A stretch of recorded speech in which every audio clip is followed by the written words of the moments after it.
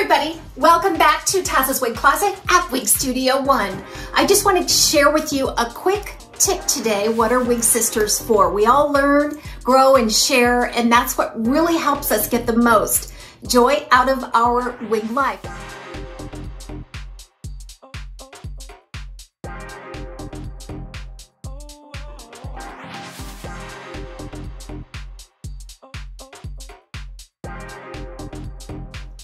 Heat friendly styles. We love them, we don't. We love them, we don't. Depends on what day it is and what problem we're having, right? There's nothing that beats a heat friendly style, brand new right out of the box. The luxurious feel of the fibers. They just feel so soft and silky. I'm wearing the Raquel Welch's editor's pick in shaded cappuccino today. And I just I always marvel at the feel and the realistic look of a heat-friendly fiber. First of all, they don't reflect light in the same way. They're not going to be quite as shiny as a non-heat friendly synthetic. But heat friendly fibers do come with their own little set of challenges don't they? I've made some reviews on how to care and maintain heat friendly fiber, but today I want to talk about a different challenge that we have with heat friendly fiber. If you are a fan of heat-friendly fiber, you wear it often and you wear it for long periods of time, you notice that they become stringy very quickly and they tend to, the fibers tend to clump together. And that might not give the most natural movement and look. It's certainly not what you're going for, right? And you find yourself constantly wanting to brush them out which may not be the best thing for longevity of any wig style. So when this kind of stringiness happens in the wig style, I always try to figure out ways to treat that without doing some damage to the hair. So I sort of stumbled on something that really works for me and I just wanted to share it real quick with you today. So what I use is a can of dry shampoo and then I have a wide tooth comb and then a, uh, a wig safe brush. Now, I always like to use dry shampoo that has a little more talcum effect. You can get dry shampoos out there that um, don't have any residue, that feel kind of sticky going on until they dry. And that's not the kind of dry shampoo that I'm talking about. I love the Batiste, and this cherry scent is my absolute favorite. Um, Batiste tends to have a lot of talcum, okay? That's when it comes out, it has a powdery look and feel to it until it kind of brushes or shakes out. This has the best effect on drying the oils in the scalp and things. It will also help reduce the look of some excess silicone in the hair. Um, but I do try to choose one that has more of a white talcum than something that's clear or sticky. And then I use a wide tooth comb. This is the only comb I ever really use on my wigs is a wide tooth comb, especially heat friendly. This is a must. And then I always carry a purse size wig safe brush. I like, I love these little brushes. They're very easy to control and manage. The bristles aren't too long. They're wig safe and I can just really get into the root of a style and uh, get a nice fluffy wispy look by using that. So these are the three things that I normally use to, to, to do this little bit of a trick to help keep my wig styles from getting too sticky or gummy looking. Now, I'm not talking about the stickiness and the gumminess that you can get from a really dirty wig. If you use a lot of product in your wig or if it just needs a good shampoo, you're gonna know the difference. What I'm talking about here is just the, um, the stringiness effect that you can get from a heat-friendly style due to the, uh, the, the chemical composition of those fibers. So here, like I said, I'm wearing the Editor's Pick by Raquel Welch in Shaded Cappuccino.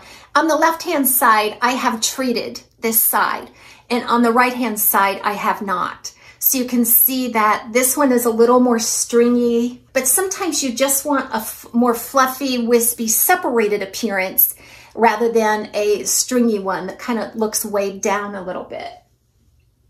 Okay, and so on this side, it seems to be a little fluffier, doesn't it? A little more separated, a little wispier.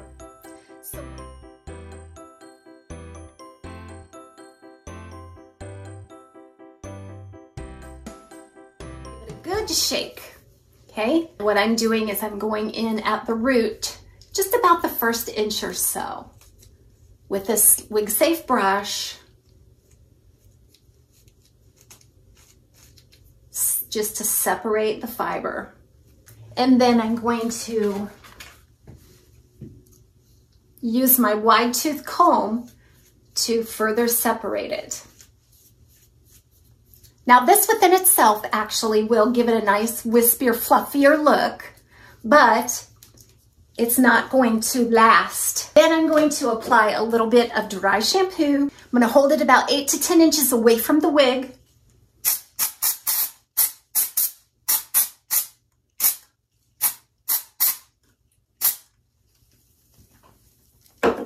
And then I'm gonna shake. All the excess will shake out. You can see where it's much more separated and wispy. And I find that it let that actually lasts longer than just using a brush or a comb by itself. So this is a really good refresh method. So we just want to add one more style that is heat friendly.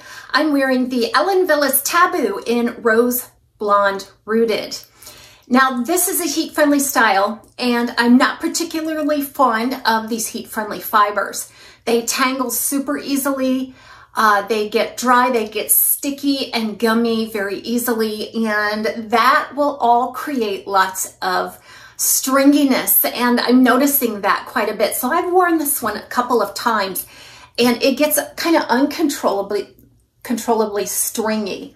Can you see you know, at the nape and from the back, just how stringy it is. And I think because of the special coating that they use on the heat-friendly fiber, that it's more prone to get stringy. I also notice this a lot with the Noriko wigs, like my Noriko Jackson. Um, they tend to get stringy a lot, and I think that this method could also be used for those non-heat-friendly synthetics that get stringy as well. Um, but the goal here would be to get them separated, get them coated uh, with the talcum and get them separated so that that stringiness doesn't come back uh, for a while. So on the right side of this Tabu, I did treat this side. And so what I did was I combed a little bit at the root just to loosen up that root. And then while still holding it upside down, I sprayed in some, um, some Batiste dry shampoo.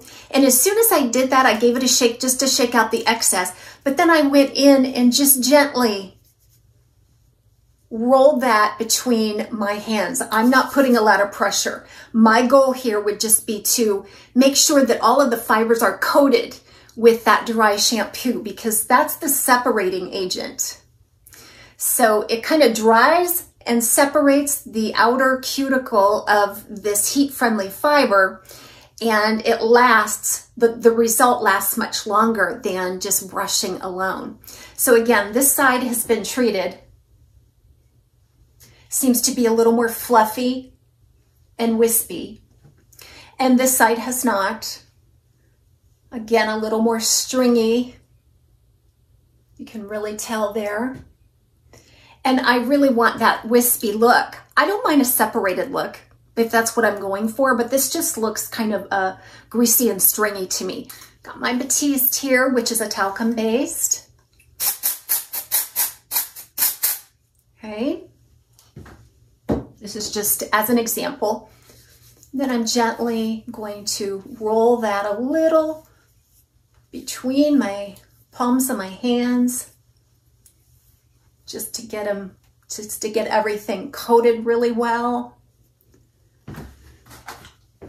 Then I'm gonna go in and do a wide tooth comb. And sometimes rather than pulling straight down with the comb horizontal, try cocking it to the side just a little because that will eliminate um, the stringiness to set up uh, in between the places where you've combed it. You see what I mean? So if you hold it a little bit vertical, and again, you'll have to be really careful because your heat-friendly fiber is more prone to that friction. Um, but you can already tell that it's given it a little bit more wispiness. And I can, I can attest to the fact that it lasts a little longer than just uh, combing and brushing alone. So the next time your heat-friendly style looks dirty and you feel like you wanna wash it or just to get in there with a brush, try a little bit of dry shampoo and a shake and see if that helps separate and bring some wispiness back to your heat-friendly fibers.